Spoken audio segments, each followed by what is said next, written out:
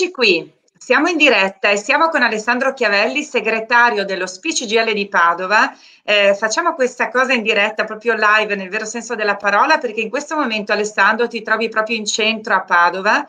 Eccoti qui. Io sono, e... sono, dav- sono davanti a Palazzo Moroni, Stia- sono insieme ai compagni e agli amici di insomma, Speech GL, FNP CISL e Will Post e Will Pensionati e stiamo facendo questo sit-in che parte da un'iniziativa nazionale lanciata appunto da CGL, CISL e Will Pensionati, lanciata per gli uomini e dagli uomini contro la violenza sulle donne. Perché come dice, come dice il titolo del nostro, della nostra iniziativa, cari uomini, abbiamo un problema. Cioè il problema della violenza sulle donne sono gli uomini. E quindi deve partire dagli uomini questa, questa, questo tentativo di cambiare di cambiare proprio l'approccio rispetto alla, alla drammaticità del problema della violenza sulle donne. Quindi non è un problema che devono affrontare solo le donne, ma in, prim- in primis devono essere gli uomini, perché sono gli uomini che producono la violenza. Alessandro, è... avete fatto questa, questa, manifestazione nonostante da oggi il Veneto è in zona arancione, proprio perché ci credevate, volevate comunque lanciare un messaggio.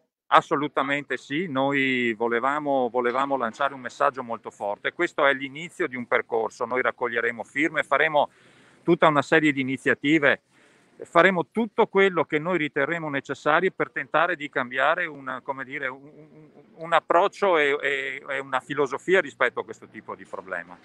Perché non è che qui discutiamo e parliamo solo della drammaticità sconvolgente del femminicidio ma anche la violenza quotidiana, la, la violenza dentro le famiglie, la violenza tra coppie, la violenza nei luoghi di lavoro, la disparità che esiste ancora oggi nel lavoro tra uomini e donne, per, legate alla carriera, legate alla differenza salariale. Noi pensionati una grande battaglia contro il fatto che le pensioni tra gli uomini e le donne sono nettamente diverse Diciamo, noi vogliamo come uomini far partire questo tipo di campagna per dire il problema sulla violenza, la della violenza sulle donne, tutto, tutte le tipologie di violenza sono gli uomini e devono essere gli uomini a cambiare completamente lo, il loro modo di pensare, il loro modo di approcciarsi, la loro quotidianità rispetto al rapporto con le, con le compagne, con le figlie, con, con, con, tutto, con tutto il mondo femminile. È una delle prime volte che in realtà gli uomini scendono in piazza, quest'anno ancora di più. Secondo te perché? La, anche la pandemia ha contribuito in questo? Perché sicuramente i dati che noi abbiamo che, insomma, che abbiamo tutti è che la pandemia e ciò che è successo ha aumentato in maniera esponenziale la violenza sulle donne, la violenza domestica. Eh, noi siamo sconvolti dal, dal sentire ormai purtroppo quotidianamente di femminicidi, di omicidi di donne e noi vogliamo assolutamente che questa cosa non passi come una notizia come tante altre. Cioè, la cosa che a noi sconvolge è che ci sia il pericolo che ci, in qualche maniera ci si possa assuefare rispetto a questo tipo di problema.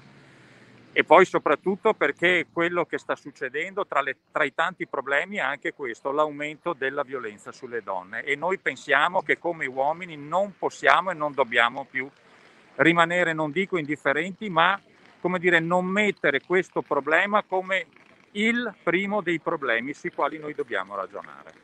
Alessandro, perché proprio i pensionati? Bah, i pensionati perché, per, perché? Perché, come dire, eh, tra i pensionati, cioè i pensionati sono quelle persone che probabilmente, la dico così, per età anagrafica, per cultura, eh, potrebbe, potrebbe, uno potrebbe pensare quelli, quelli per cui è più complicato tentare di cambiare filosofia. In realtà noi vogliamo dimostrare che proprio sono i, i pensionati, cioè quelli che hanno qualche anno in più, che devono lanciare un messaggio a tutte le generazioni, a tutte le generazioni di uomini, perché la violenza sulle donne è un problema purtroppo intergenerazionale che, che coinvolge tutti, tutti, i giovani, i giovanissimi, gli anziani, e anche i grandi anziani, anche i grandi anziani. Uno dei grandi sì, infatti abbiamo, abbiamo, visto dei casi di femminicidio, tra l'altro anche recenti, in cui i protagonisti non erano più giovani, erano sicuramente sopra i 60 anni, quindi effettivamente stiamo parlando di un problema che riguarda tutti. Riguarda assolutamente tutti. e noi vogliamo, e noi vogliamo appunto con oggi, ma non è oggi perché oggi abbiamo deciso di farla qui, ma questa campagna è stata lanciata qualche settimana fa e vogliamo che sia uno degli argomenti, se non il primo argomento sul quale noi non, non, fare, non faremo deroghe. E chi non... è che può sottoscrivere? Come possiamo sottoscrivere a questa campagna? Allora, allora per sottoscrivere basta andare, basta andare sul sito allora, firma l'appello su www.abbiamounproblema.it. Ok, vediamo se riusciamo anche a metterlo online. Abbiamo un problema.it, giusto? Esatto, esatto. It, vediamo se ci riusciamo, in qualche modo facciamo tutto in diretta, quindi cari uomini abbiamo un problema. Allora, vediamo se riesco a fare una condivisione del... Eh, vediamo un po' se ci riesco. Allora, scheda cari uomini abbiamo un problema. Dovrebbe essere questo se lo vedi anche tu. Esatto, lo vedi?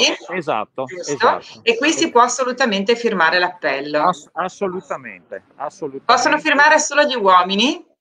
Possono firmare tutti. Chiaramente noi quello che speriamo è che siano tantissimi uomini quelli che decidono di firmare, perché, ripeto, noi dobbiamo fare cultura agli uomini Dobbiamo spiegare che la, che la, violenza deve essere assolutamente bandita nel rapporto, deve essere bandita in generale, ma in questo caso lo deve essere nei confronti delle donne. E come dicevo prima, non è solo la violenza, la violenza fisica che è la punta dell'iceberg, la cosa più sconvolgente, ma anche la violenza psicologica, è la violenza sui luoghi di lavoro, è la violenza legata alla differenza salariale, alla differenza pensionistica, cioè a tutte quelle cose che, come dire, creano differenza, creano eh, differenza tra uomini e donne, quindi a qualunque tipologia di violenza.